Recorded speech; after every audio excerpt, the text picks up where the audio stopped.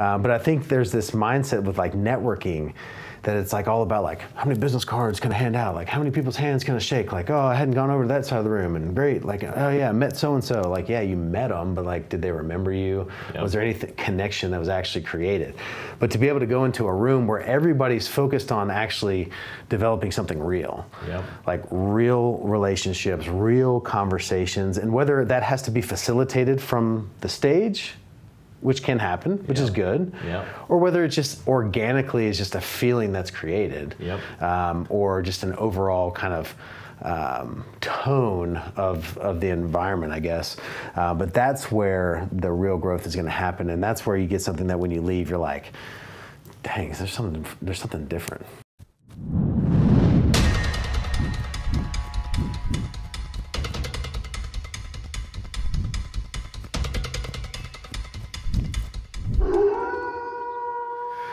What's up, everybody? Welcome to the Sales Wolves podcast. This is episode 73. I am your host, Tyler Harris. This is, Ryan Alford. and we are the Sales Wolves. Ow. Yes, that is right. I don't know if mine was as strong as yours. I need It's to do right. it again. Woo! I'm trying to get my like, dog. ooh, like a Ric Flair thing. I've going. literally every day been trying to get my daughter. I've been going, "What does the sales wolf say? What does the sales wolf say?" And I'm like, "Oh," and she's just like, "Nothing yet, nothing yet." We'll get there. She'll learn, or we'll get rid of her. Trade her in. But welcome to the Sales Wolves podcast. This is episode 73 or 74. I know it's, I mean, you just told me. 73. 73. And uh, this one's kind of a, a special one because it's nice and timely. As you see with uh, Ryan's shirt here, uh, he's representing the, the GVL Hustle. And it's something that we have uh, collaborated on and are. Um, really excited about because it's the first one is this Sunday coming up, um, July 1st. July Yeah, 1st. July 1st. The first Sunday in The July. first of the Not the last Sunday in. June. Exactly. Yes. yes. There was some confusion. There was some confusion there. Um, but yes, it's the first of the month. Wake up. Wake up.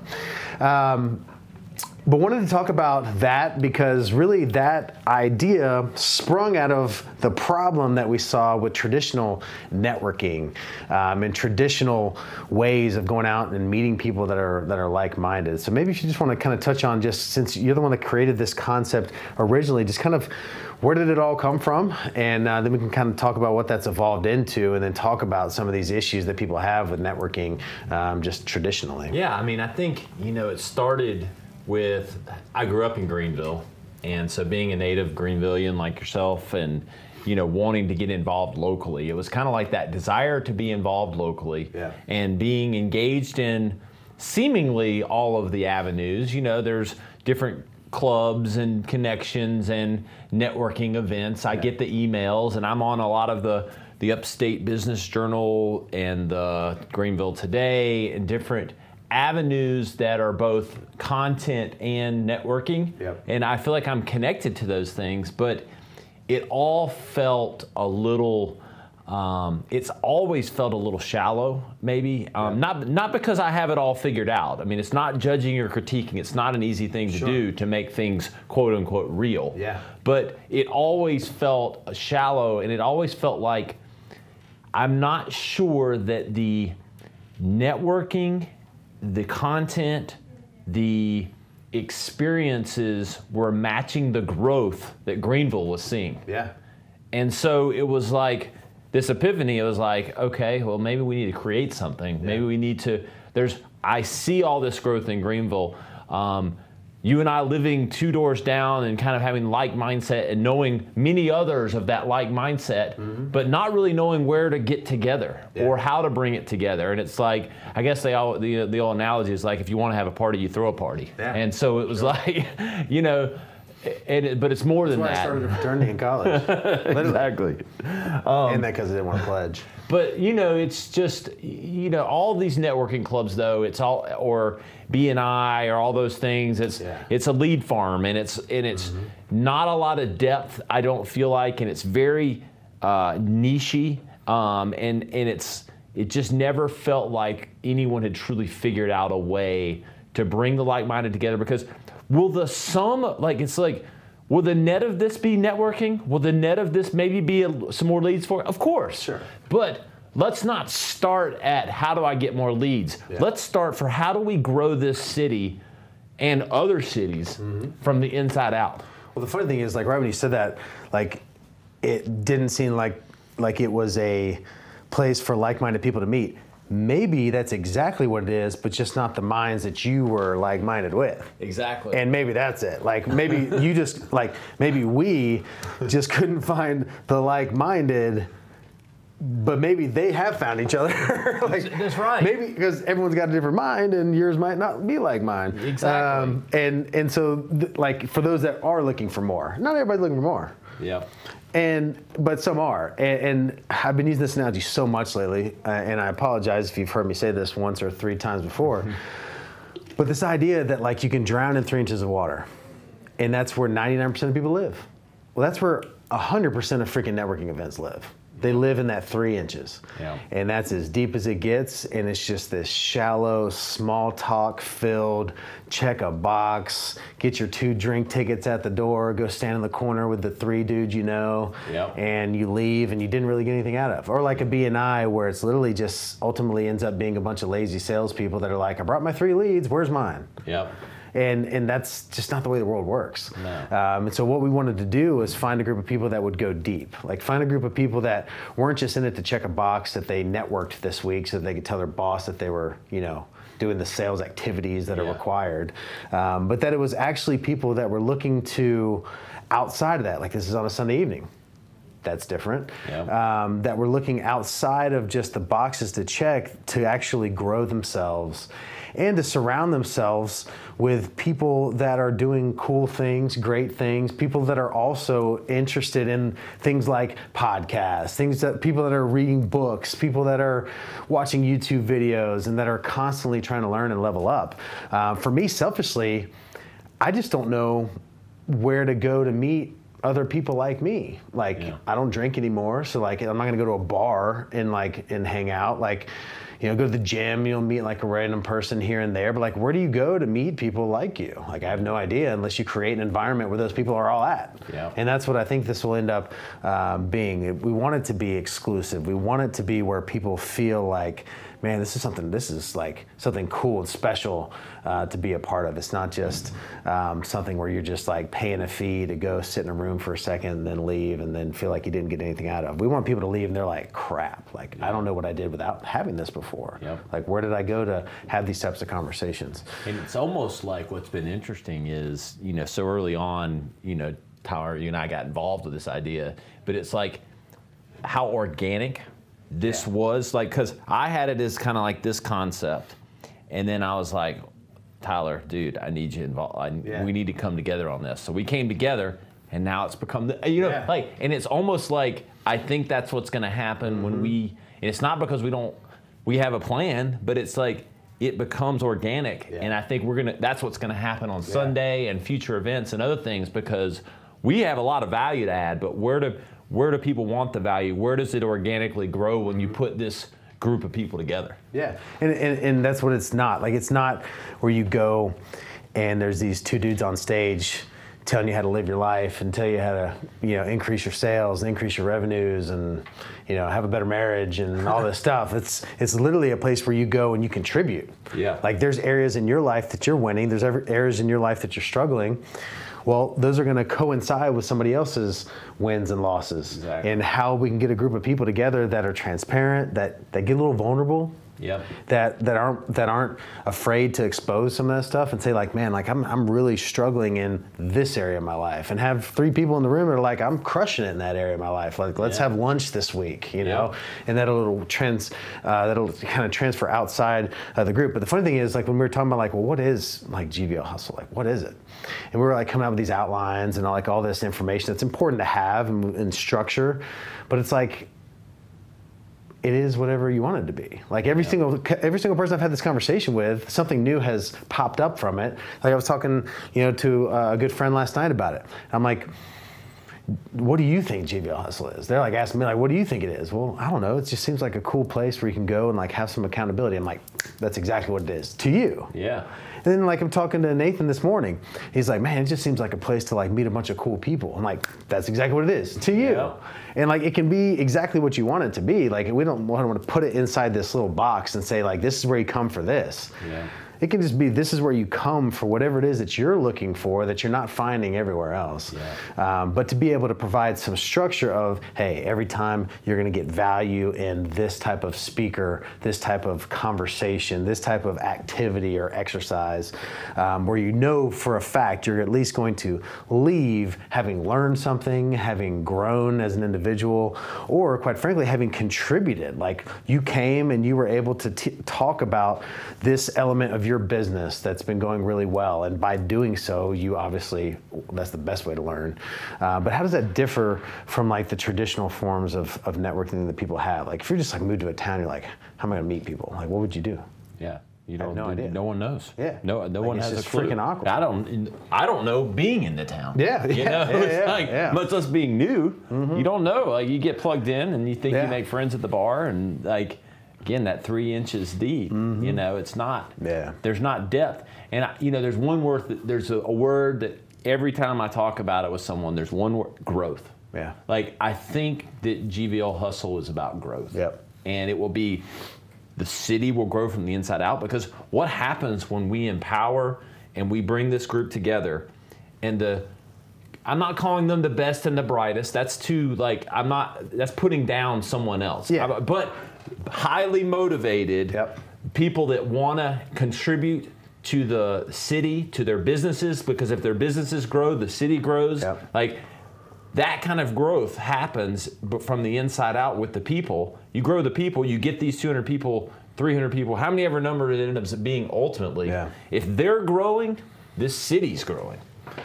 the, the word that I think of is abundance, and like, and I'm sorry to bring, keep bringing up BNI. If you're in BNI or if you're like the head of your BNI group, kudos to you because you're the only one that like I can remember. Right. Like that's awesome. That that's the only networking group that I can even spout out. But we were talking yesterday. It's like okay, you got one insurance. It's all exclusive, like like exclusivity on your like category. So you're the you're the pest control guy.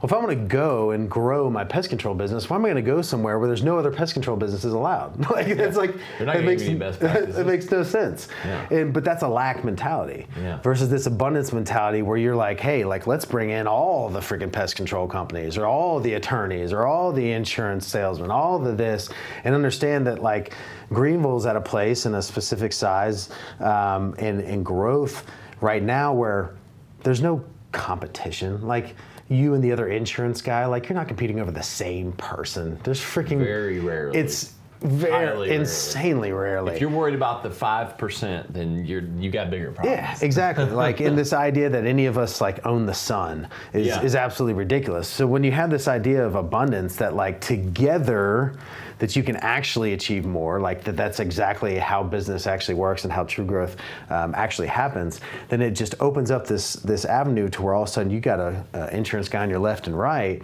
and and you're understanding that like no like by us kind of like locking arms and saying like let's figure this thing out that even if they're with X company I'm with Y and this this guy's with Z that we can all get better and that Yeah. there's plenty of freaking business out there for all of us to have and then some. Um, but I think that's a that's an interesting concept that traditionally has not been that way. Traditionally like you walk into the room you're like where's the other the other Yeah. insurance person? Or where's the other the, you know this copier salesman? And i got to make sure that I, you know all Yeah. that stuff which is absolutely ridiculous. Um, one thing that i want to kind of talk about i kind of think it's it's super tactical is the best ways to network. And people this phrase networking like it's just it's relationships so what relationships have you ever built that was just small talk once a month? None. Absolutely none. so you have to find out and identify places where you can go to have real conversations with people. Yeah. To where you can actually like open up a little, like expose a little bit of what's going on in your life, which gives that person the audacity to expose a little bit what's going on in your life. Now you two have a connection that's deeper than just like a how's business? Yep. Business is great. How are you been? Great. Can't complain. Great. All right. See you next month. Like that's literally like that's the conversation that I, and I can't like I refuse to have them anymore. Um, but a place where you can actually have these deeper conversations. It's the only reason I go to these events. Like Meltdown in the Desert. Yeah, there were great speakers. Yeah, there was a lot of good stuff presented. But I went there to pull three, four, five relationships from there that we had after the event conversations Yep. that now I'm going to talk to on a weekly basis, probably. Um, there's people at an event that TJ and I went to in December in Newark that I talk to almost daily, but at least every couple of days. Um, and those relationships has, have fostered tons of growth in me as a person uh, and uh, for my business as well. Uh, but I think there's this mindset with like networking that it's like all about like how many business cards can I hand out? Like how many people's hands can I shake? Like oh I hadn't gone over to that side of the room and great like oh yeah I met so and so like yeah you met them but like did they remember you? Yep. Was there any th- connection that was actually created? But to be able to go into a room where everybody's focused on actually developing something real, Yep. like real relationships, real conversations, and whether that has to be facilitated from the stage. Which can happen, which is good Yeah. or whether it's just organically is just a feeling that's created, Yep. um, or just an overall kind of um, tone of, of the environment, I guess.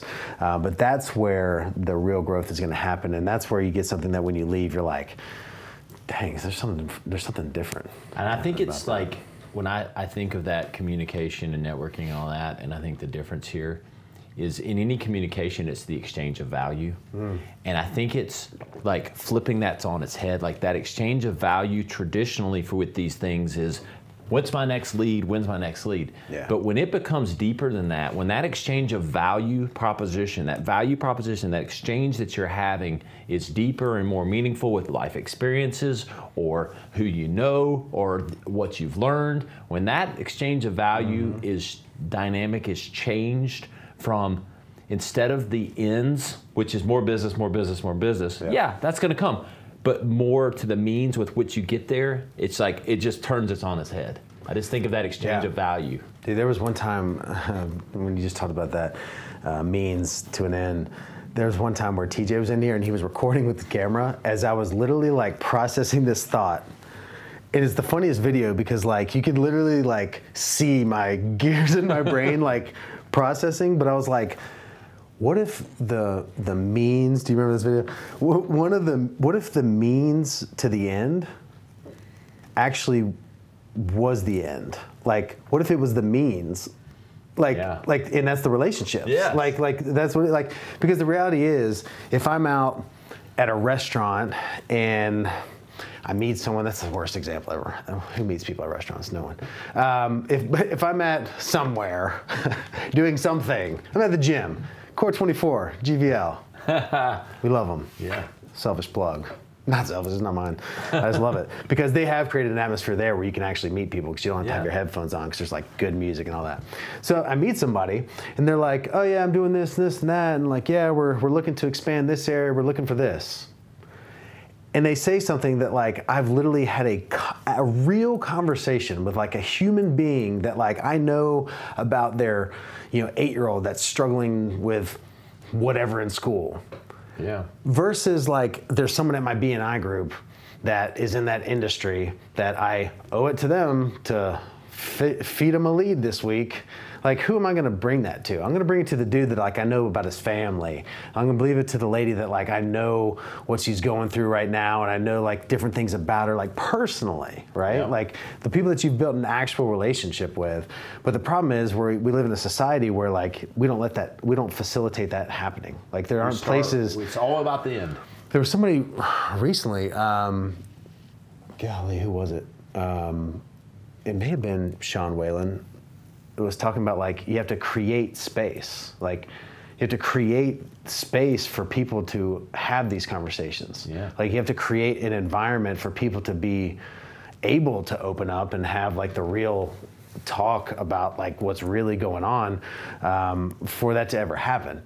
And I think historically, with most networking events, networking groups, networking things, like that's not what it's about. Like Yeah. it's about like what can we charge, what can their ROI be to be able to charge that when like the ROI is like transactional. Yeah. Like I went to this, I got this many leads, it generated this much in revenue and this much in this. That's great, and that's why they're like during the day on a weekday, you know. But the person that's even going to be willing to come to something that's outside of work hours kind of pre-qualifies you as one of those kind of like-minded individuals to begin with.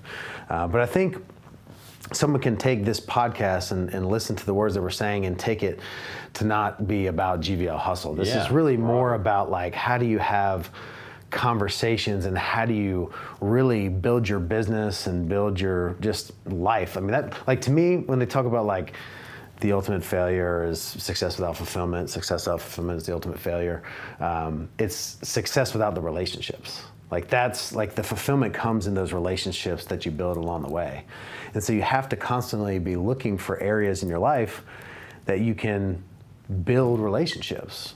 Yep. And we didn't see that happening. And so we were like, oh, well, let's just create an environment where that can happen. Yeah. Um, and I'm extremely excited, selfishly, just to have that environment for me. Yeah, Like exactly. literally.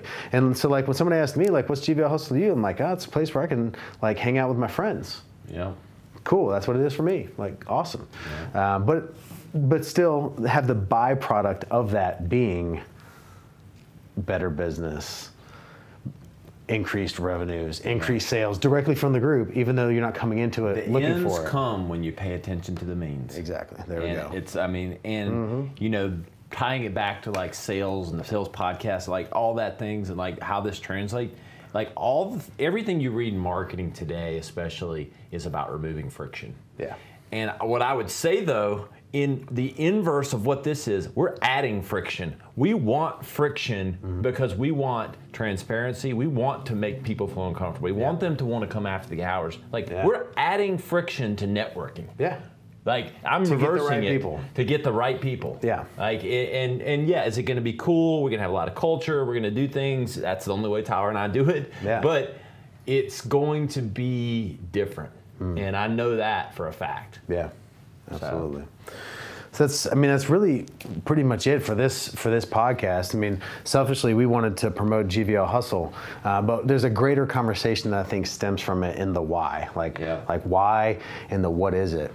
And if your town doesn't have it, being able to look at where what can I take into the situations and the environments that I do have, to where I can get at, I can get that out of it. Like I can go to a BNI and create the environment that I want with the people that are there that are Yeah. willing to give it. I can go to the young professionals or to the whatever. Remember, is Pulse still around? Remember that thing? It was like part Yeah, of the chamber. It was like the Yeah. young people's whatever. I part of the didn't chamber. see anything of it. Yeah, I probably is. I'm sure. yeah, we'll get I it. We'll get a, we'll get a text. yeah. I'm the president of Pulse? Yeah, like, Some guy like, oh, I'm sorry, dude. yeah, yeah. Well, yeah. Shame on you. Uh, but like, you can you can take this mindset into the traditional um, areas where people are networking and try to go deeper with people. Yeah. Like that's the thing. Is like, don't just go into these situations or don't avoid all these situations just because you're like, oh, well, that's just one of those things. No, like you be the different person. Yeah. And if you stand out and it makes you uncomfortable because like no one else is like really trying to to, to go that deep, then that's probably a good thing. Uh, but I can guarantee you, if you're the one that's proactively doing that, that there's going to be someone there that they're like, oh crap, like that's different. Like I want to go talk to that person, um, and that's where those relationships. Like I've just lately just become so so convinced that like life is literally about relationships. Like that's that at the end of the day that that's where the fulfillment comes from that's where the joy comes from and that's where business freaking comes from. Yep. like they talk about like oh this isn't this isn't personal this is business. No like it's all personal. Like it's Yeah. all personal. Like there is nothing that you cannot take out the person from the business and that that's all about like meeting like you said like-minded people. And that's so funny that we said that that the other people are like-minded too. It's just not the minds we want to like, and that's and that's fine. And that's fine too. Different strokes for different folks. Exactly. It won't be for everyone. But, Exactly. But I think we've struck a nerve with the, the right people. Yeah, absolutely, man. So, very cool. Well, uh, we're excited about that. Those of you that are in Greenville that are watching on Facebook Live, um, this is going on this Sunday, July 1st. Those of you that are watching on the Sales Wolves podcast or listening to the Sales Wolves podcast, this is something that happened a couple of days ago, but we're having one next month. So, if you're in the upstate of South Carolina, this is something that's going to be nationwide within the next 12 months. Uh, but if you are in the upstate of South Carolina, just reach out to us, send us an email, um, or shoot us a, um, a message on, on social media, and we'll get back to you with some details on that. Uh, but with that, this is episode 73 uh, of the Sales Wolves podcast. I am Tyler Harris, Ryan Alford. and we are the Sales Wolves. Ow!